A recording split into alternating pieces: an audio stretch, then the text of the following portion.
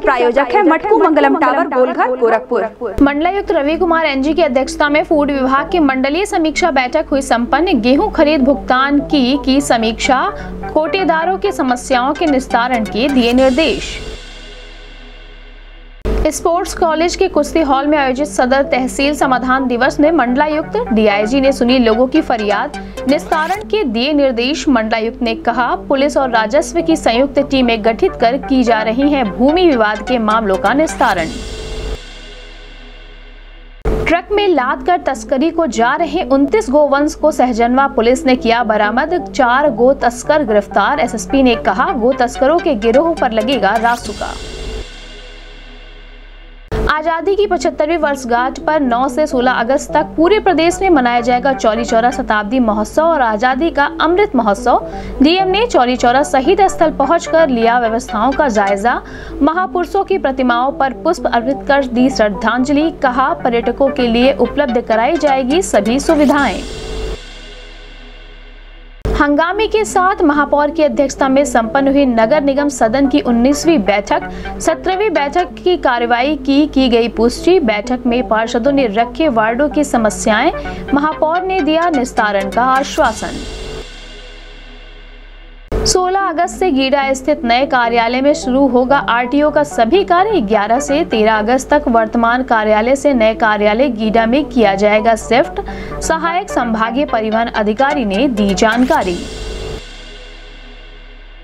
जिला अधिकारी विजय किरण आनंद की अध्यक्षता में तहसील चौरी चौरा में आयोजित हुआ जिला स्तरीय संपूर्ण समाधान दिवस। डीएम और एसएसपी ने सुनी लोगों की फरियाद, निस्तारण के दिए निर्देश। भारत के star javelin thrower Neeraj Chopra के ओलंपिक खेल में गोल्ड मेडल जीतने पर नगर निगम सदन ने ध्वनि मत से दी बधाई। गोल्ड मेडल पाने वाले खिलाड़ियों को नगर निगम एक लाख रुपए देकर करेगा सम्मानित। शनिवार को जिला अस्पताल सहित जनपद में 19 केंद्रों पर 3,409 लोगों को किया गया कोविड का टीकाकरण। फ़र्स्ट डोज लेने वालों में 2080 और सेकेंड डोज लेने वालों में एक हज़ार तीन सौ उनतीस लोग रहे शामिल। एडिशनल सीएमओ ने कहा, वैक्सीनेशन केंद्रों पर न लगाए अनावश्यक भीड़, कोविड 19 का करे पालन, रहे सुरक्षित।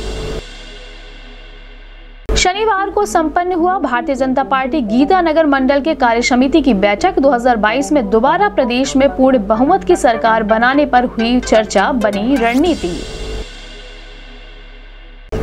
सूत्रीय मांगों को लेकर सपा कार्यकर्ताओं ने सिटी मजिस्ट्रेट के माध्यम से राष्ट्रपति को प्रेषित किया ज्ञापन। मंडल कमीशन की सिफारिशों को पूरी तरह से लागू करने की की मांग।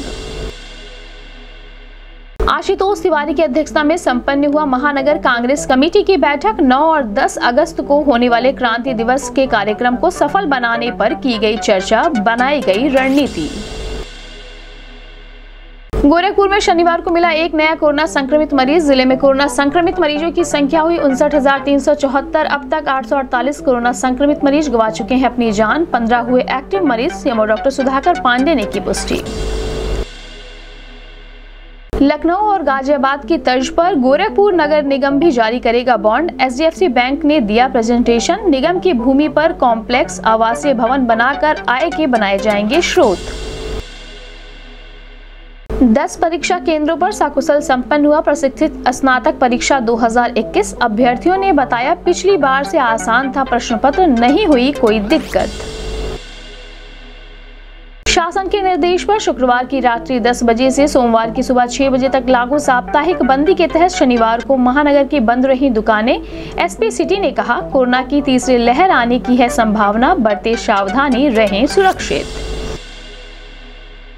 और ओलंपिक में भारत का शनिवार को रहा स्वर्णिम दिन। भारत के जेवलिन थ्रोअर भाला फेंक में नीरज चोपड़ा ने जीता गोल्ड मेडल तो पहलवान बजरंग पुनिया ने जीता काश्य राष्ट्रपति प्रधानमंत्री, मुख्यमंत्री योगी आदित्यनाथ सहित जानी मानी हस्तियों और खिलाड़ियों ने दी अपनी शुभकामनाएँ। स्थानीय खिलाड़ियों ने भी किया खुशी का इजहार।